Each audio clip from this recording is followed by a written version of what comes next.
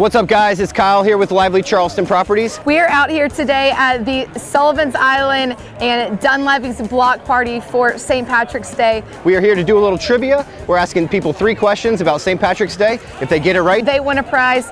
So come on, follow along. All right guys, we are here with Fred, Jake, Adam, Edward, Travis. And we're gonna ask you guys three questions about St. Patrick's Day. If you get all three answers correct, we'll give you $10 to buy your next Guinness, and they're entered to win a gift card to Second State Coffee. First question.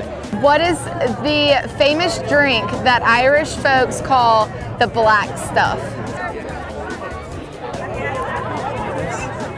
Guinness?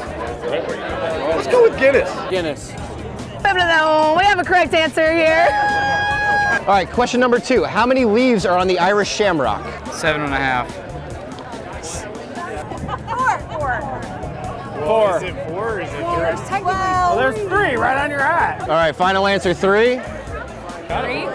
Yeah, good job. That was a hard one. How do you spell St. Patty's Day? S-T period P-A. So Patty's is P-A-D-D-Y apostrophe S. I would have said that too. All right. And then if it's Saint. Final answer. D-D-Y apostrophe S. I think that's correct. all right, final one. This is for all the money here. Legend has it that St. Patrick cleansed the Emerald Isle with what animal? Links the Emerald Isle with what animal? A cat. A cat. Wyatt, what do you think about that? Um, do, do, do, do.